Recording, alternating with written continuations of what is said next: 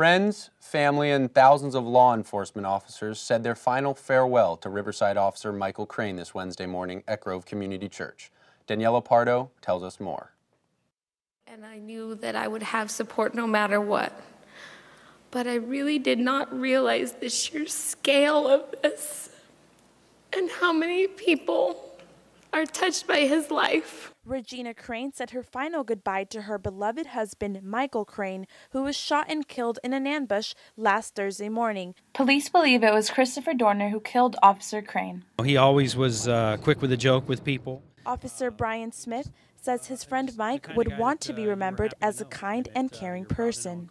Michael Crain was an 11 year old veteran officer in the Riverside Police Department and a devoted father of two young kids. Close to 8,000 people are expected to attend Michael Crain's funeral today. This procession you see behind me has been going on for about 20 minutes, and it's not just members of the Riverside Police Department, but it's members of all law enforcement in surrounding cities throughout Southern California.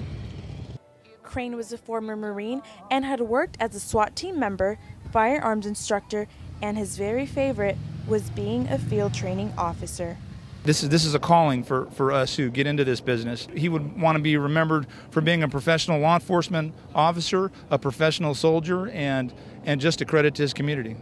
Members of the Riverside community gathered to honor Officer Crain in his final tribute outside of Grove Community Church.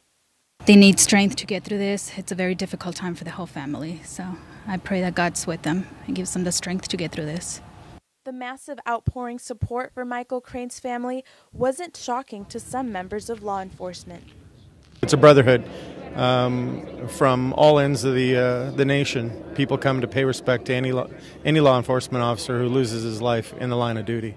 Reporting from Riverside, California, Daniela Pardo, Chapman News. And among the thousands of people who attended Michael Crain's funeral was Governor Jerry Brown. The fallen officer is now at rest at the Riverside National Cemetery.